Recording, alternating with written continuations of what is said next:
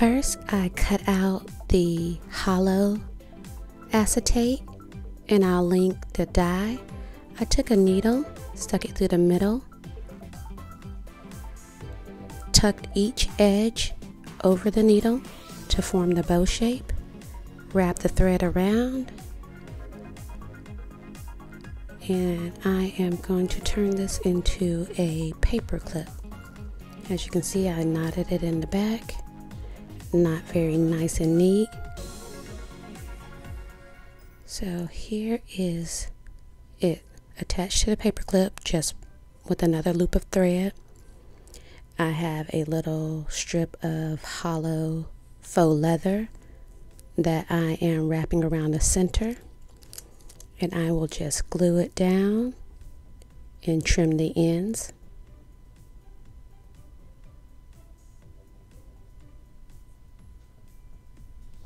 All right.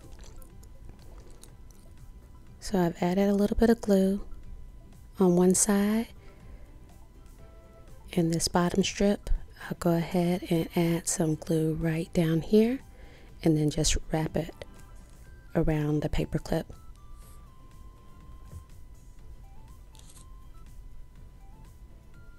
And so for this first piece of acetate, I am creating a planner clip bow. It's a little tricky to stitch through, but if you're delicate, it'll be fine.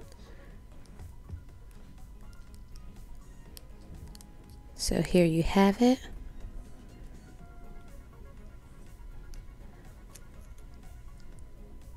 Perfect.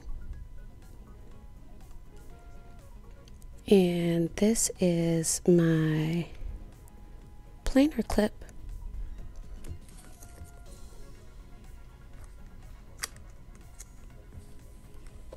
Nice and cute.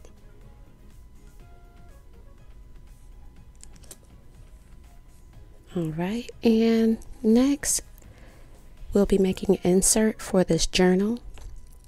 This is the journal, the self-care journal that we got in one of the subscriptions. I am going to use the sprinkle acetate next.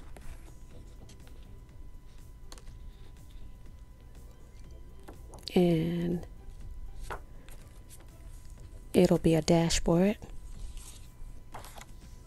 So I have a sheet that was already torn out of the planner from the very back and I'm just going to line up the acetate with the sheet and use just a basic marker to mark off each hole.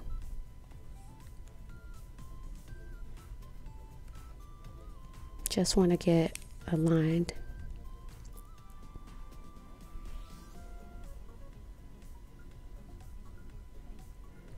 And this is a washable marker, so you can use a baby wipe if you get a little messy and just wipe it off.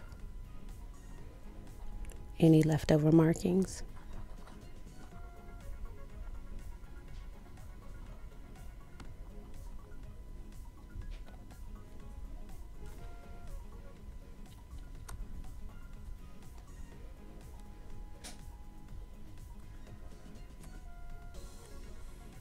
All right, I have finished this portion. Now I am going to use the We R Memory Keepers Crop-A-Dile and it has two different measurements of holes that you can use. And I'm going to use the side that has 1 8 If you have a 1 8 hole punch, that will work great for this journal. I'm trying to get it so you can see the measurements, but I don't think it's going to get in focus. And I've had this tool for many years. Um, I used to do some scrapbooking and use eyelets. And so it has um, the main portion of it is an eyelet setter. So I'm just getting it aligned over the marks and I am punching the holes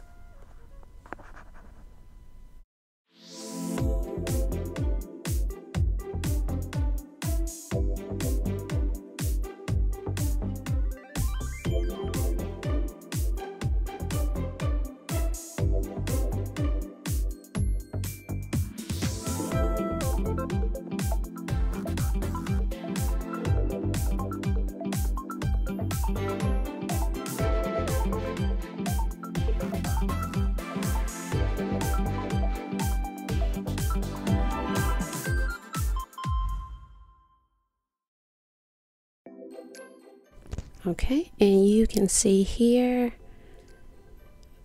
a little bit that my holes are done and they're not totally straight. I'm taking a pair of scissors and cutting a slit and this allows this piece of acetate to pop into your journal. So cut a slit into each of those holes.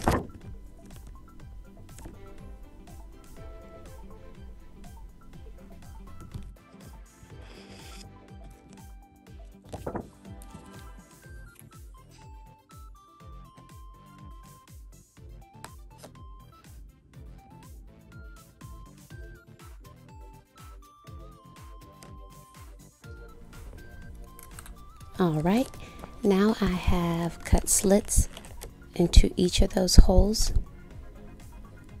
from one edge to the very end.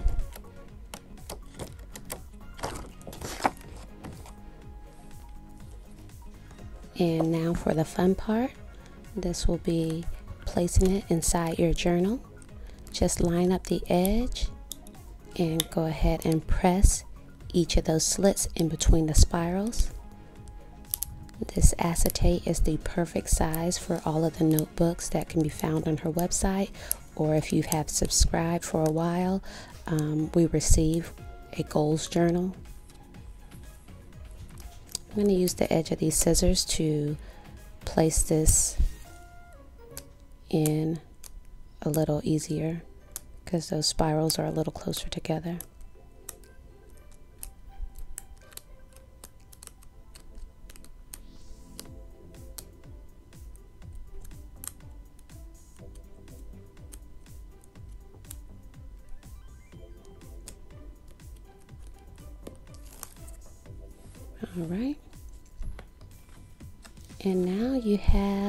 Perfect little dashboard.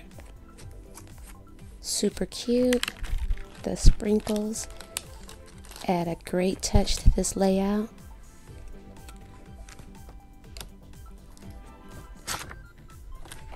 I love it.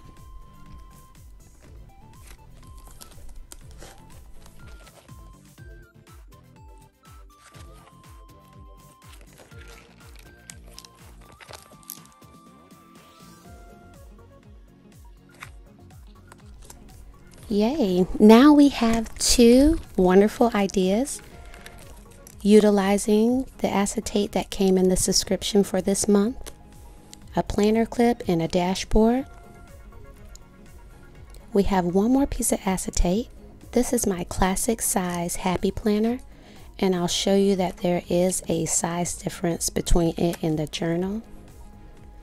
So the acetate will look quite small inside this planner to be used as a dashboard. It could be used as a smaller dashboard, but I'm going to turn it into a pocket. I love, love, love this design. I really wanted to save it. So I'm getting my punch and I'll show you with the scrap piece of paper. I won't have to do all the individual hole punching. I just insert the paper press down and it punches completely through the paper.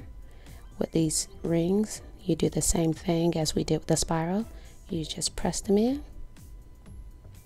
And I love disc ring planners because you can just remove pages, add pages, refill pages.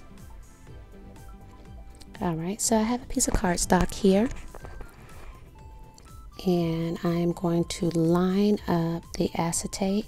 I want to use as many of the images as possible and still keep the pocket functional. So I'm going to cut it at an angle and I'll be able to save those girls up top.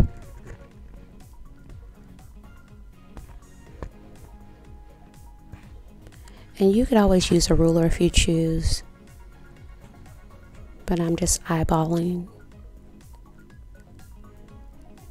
And I'm just going to trim it at a diagonal. keeping these girls. Perfect. Now I will line it up with the paper. And if you'd like to make this part perfect, it would be great to get out your paper trimmer. But once again, I'm just going to eyeball it. I'm going to use the edge of the acetate and begin to cut upward.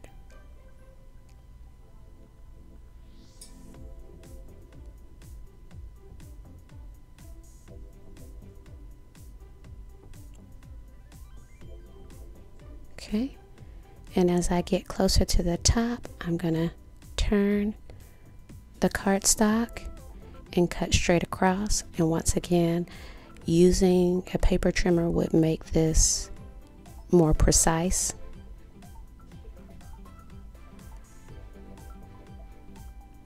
And this piece of cardstock, it's Recollection, so it is from Michaels.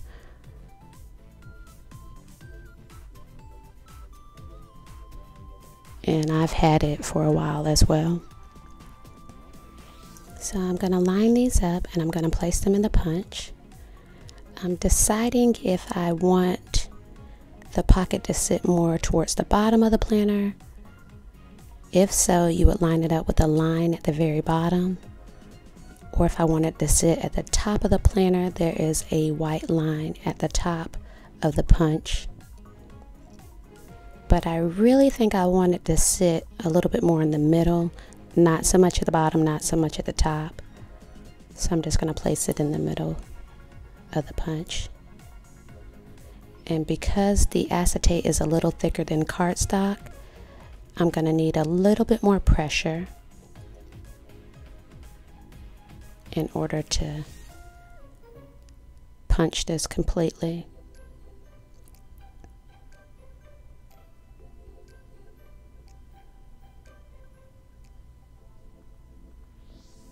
Perfect. And so if you wanted to, you could use double-sided tape along the bottom edge and the side edge to keep everything in alignment but I'm just going to use some washi I don't know which one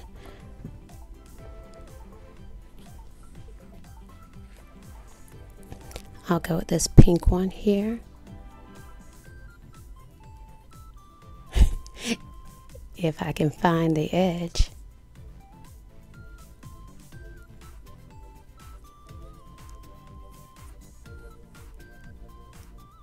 All right, here we go.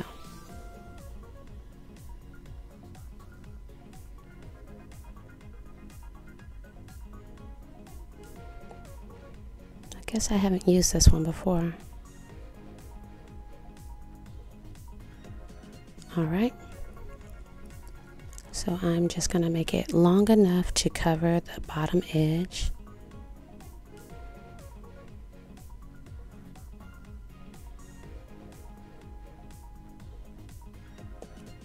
And I want to keep this in alignment. It's sliding around a little bit. It would be better if you did use a little bit of double-sided tape because you're gonna you can cover it with the washi.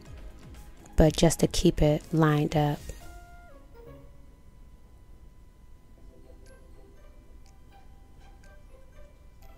This would go a little bit quicker if this was all paper.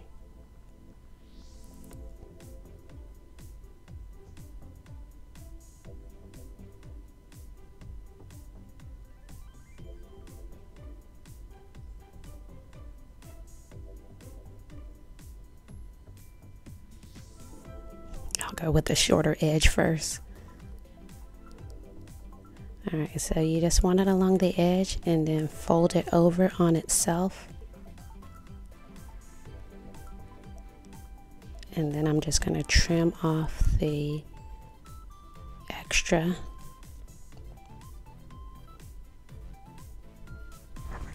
Sorry, I am struggling just a little bit trying to hold one side and lay the washi down.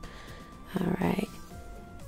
And once again, the acetate is a little slick, so I want to keep making sure that it the sides that I punched are still lined up.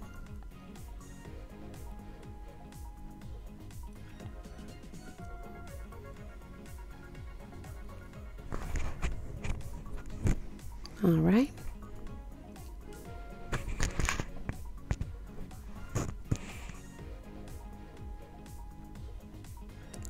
And now to conquer the bottom edge. This time I'm going to just try to lay it down so I can have two hands to try to line up the washi.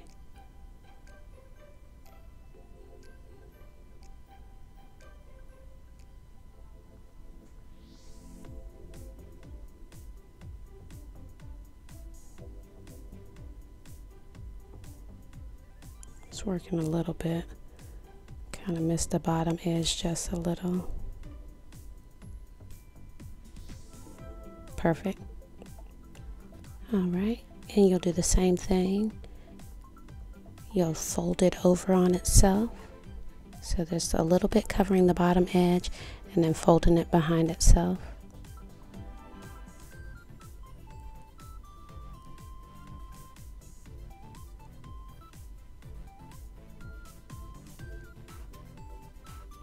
and it doesn't look extremely even but with the glitter and all of the prettiness it all works out.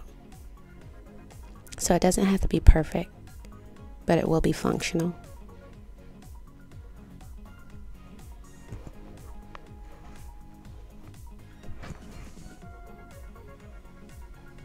All right, and let's pop it inside of the planner.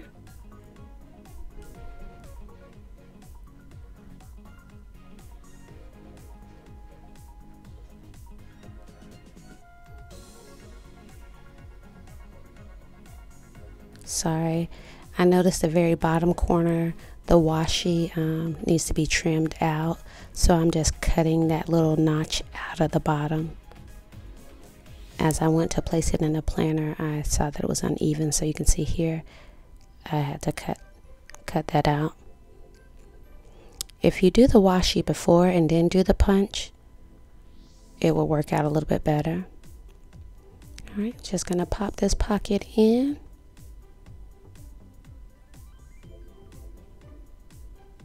And let's get something to put inside. Just so you can see. It'll be clear on the top. Yay another great idea. So we have three different ways to use the acetate. So we've created a folder, we have a standard dashboard, and a planner clip.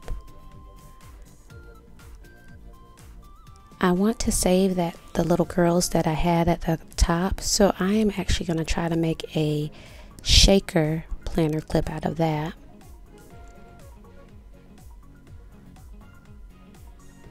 So I gonna cut out those little girls and I stitch with a sewing machine very slowly around the edge. Of course, it's not perfect, but once you add the sequins, it won't be too noticeable. It'd be really good if I had one of those fuse tools that sears the edges together and you wouldn't see all that thread. This is some sequins that I've had since Christmas time that I did not use. So I'm going to go with the smaller section and just pour some inside. Once I pour it inside, I will stitch the bottom close. Sorry, this was an unexpected idea that I decided to do. So I just took the leftover dolls or image from that last piece of acetate and cut around them and then backed it with a clear piece of acetate and then stitched around the sides. I think that's a little too full. Not a lot of shaking going on. So I'm just going to take some out. And once again, if I planned on this idea, I would have been a little less messy. And I probably would have used a little piece of paper as a funnel to get the sequins inside. So now I'm going to stitch along the bottom and I'll do that off camera. Okay, and this is the completed clip stitched out at the bottom and just attach the paper clip.